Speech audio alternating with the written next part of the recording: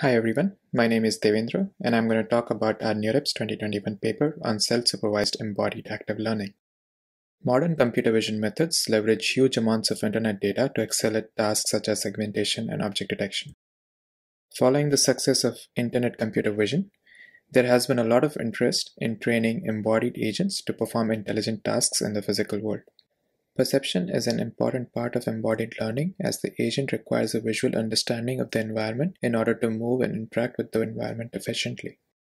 In fact, computer vision started as a field for robotics. This book from 1986 called Robot Vision consists of some of the most common classical computer vision topics.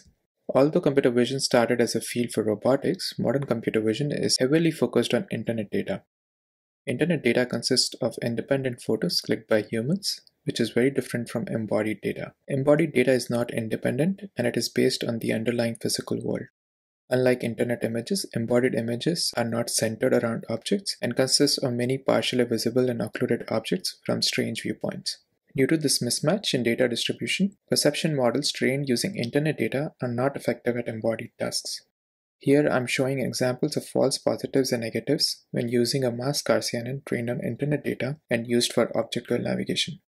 On the left, the staircase is detected as a chair and on the right, the toilet is not recognized by the masked RCNN.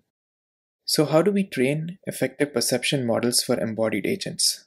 The approach of collecting a lot of images and labeling them tensely, which has been successful for internet computer vision, is not really feasible for embodied perception. This is because collecting embodied data requires embodied agents to be operating effectively in the physical world, but training these embodied agents requires a set of labeled embodied images to learn perception and move in the world, essentially creating a chicken and egg problem. This cyclic dependency of perception and action is widely known in psychology literature. In this paper, we propose a self-supervised framework for closing the action-perception loop for training embodied agents. We train a self-supervised active exploration policy which bootstraps from the internet perception models to explore the environment efficiently and collect relevant embodied images. These images are labeled in a self-supervised fashion using spatiotemporal 3D consistency and used to improve the perception model. Our framework is called Self-Supervised Embodied Active Learning, or SEAL, and consists of two phases, action and perception. During the action phase, we learn an active exploration policy, and during the perception phase, we train a perception model on the data gathered using the exploration policy. Both action and perception are learned in a completely self-supervised manner without requiring any ground truth semantic annotations or map information. A critical component for both the action and perception phases is a 3D semantic mapping module which builds a 3D semantic map from a sequence of agent observations. At each time step, a masked RCNN pre-trained on internet images is used to get semantic predictions from the input RGB observation. The depth observation is used to compute an egocentric point cloud. Each point in this egocentric point cloud is associated with the corresponding semantic predictions. The egocentric point cloud is converted to a geocentric point cloud using geometric transformations based on the agent pose. This geocentric point cloud is then converted to a geocentric voxel representations using geometric projections. This voxel representation is aggregated over time using channel-wise max pooling to get the 3D semantic map.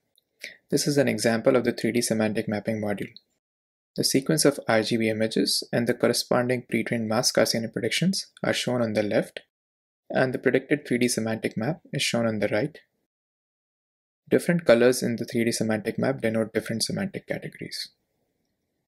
The 3D semantic mapping module is used in both action and perception phases. The active exploration policy in SEAL needs to explore the environment to gather useful observations for learning perception.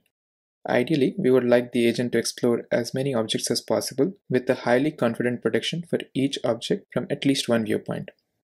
We require at least one view with high confidence as the agent needs to learn in a self-supervised fashion. During the perception phase, we'll see how a highly confident prediction from one viewpoint can be used to label other viewpoints using 3D consistency.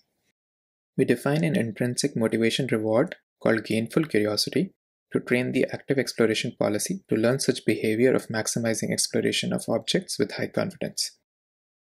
We define a score threshold of 0.9 for confident predictions the gainful curiosity reward is then defined to be the number of voxels in the 3D semantic map having greater than 0.9 score for at least one semantic category.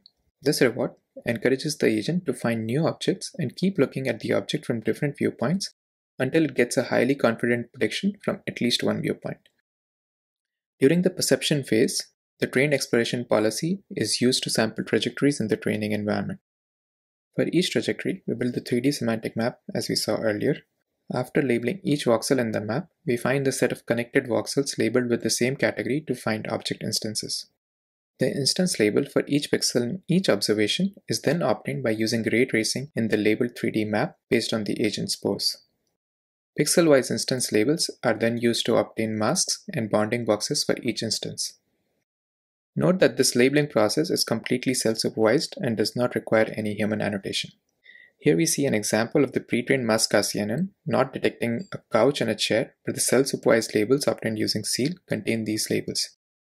This is because these objects were detected with high confidence in other observations in the trajectory. And here we see another example of the pre-trained mask CNN incorrectly detecting a chair, but the self-supervised labels obtained using SEAL are correct.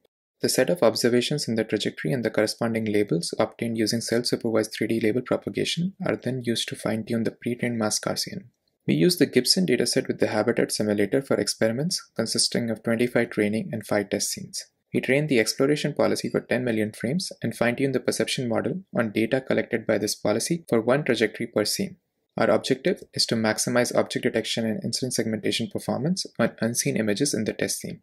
We evaluate the SEAL framework in two settings generalization, where both the action and perception phases use only training scenes, and specialization, where we allow the active exploration policy to gather one episode of experience in each test scene. The SEAL framework outperforms different combinations of action and perception baselines in terms of object detection and instance segmentation performance. These results show that the SEAL framework can be used to improve pre-trained mask Gaussian performance from roughly 35 and 33 AP50 scores to 40 and 36 AP50 scores by just allowing self-supervised exploration in training scenes. The performance can be further improved to 41 and 37 AP50 scores by allowing a single episode of self-supervised exploration in each test scene. We also show that the improved perception model obtained using the SEAL framework can in turn improve the downstream object goal navigation performance. We utilize the semantic exploration model for object goal navigation and simply replace the pre-trained mask RCNN in, in this model with a SEAL improved perception model. The SEAL generalization model improves the success rate from 54% to 61%, and the SEAL specialization model improves the success rate to 62%. The SEAL framework can also be used under the weak supervision setting, where ground truth annotations are available for a few frames in each test environment. For each annotated frame, we can simply replace the pre-trained mask RCNN predictions with the ground truth annotations in the perception phase. SEAL improves the perception performance with just 5 to 10 annotations per scene, while naively fine-tuning the mask RCNN with these annotated examples does not improve the performance significantly. For more details, please visit the project webpage. Thank you for your attention. My name is Devendra and I'm happy to answer questions over email.